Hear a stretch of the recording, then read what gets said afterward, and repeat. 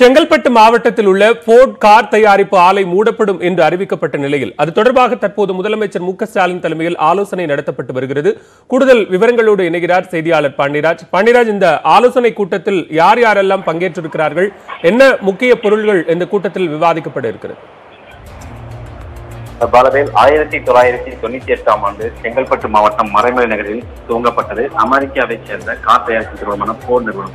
இந்த நிறுவனமானது தற்பொழுது இந்தியாவில் தங்களால் குறைந்த செலவில் வாகனங்களை தயாரிக்க முடியவில்லை. இதன் மூலம் கடுமையான அஹ், நஷ்டம் ஏற்படுவதாகவும் கிட்டத்தட்ட இருநூறு மில்லியன் அமெரிக்க டாலர் அளவிற்கு நஷ்டம் ஏற்பட்டிருப்பதாகவும் இதனால் இந்தியாவில் இருக்கக்கூடிய இரண்டு தயாரிப்பு தொழிற்சாலைகளையும் மூட இருப்பதாக கடந்த வாரம் ட்விட்டர் பக்கத்தில் அறிவித்தது. இதனைத் தொடர்ந்து தமிழகத்தில் பணியாற்றக்கூடிய சுமார் அந்த நான்காயிரம் பணியாளர்கள் வந்து கிட்டத்தட்ட மறைமலை நகரில் இந்த பணியில் இருக்கிறார்கள். இவர்களுக்கான அந்த வாழ்வாதாரம் வேலை இழப்பு உள்ளிட்டவைகள் தொடர்பாக முதலமைச்சர் மு க ஸ்டாலின் தலைமையில் தற்போது இந்த அவசர கூட்டமானது தொடங்கி நடைபெற்றுக் கொண்டிருக்கிறது.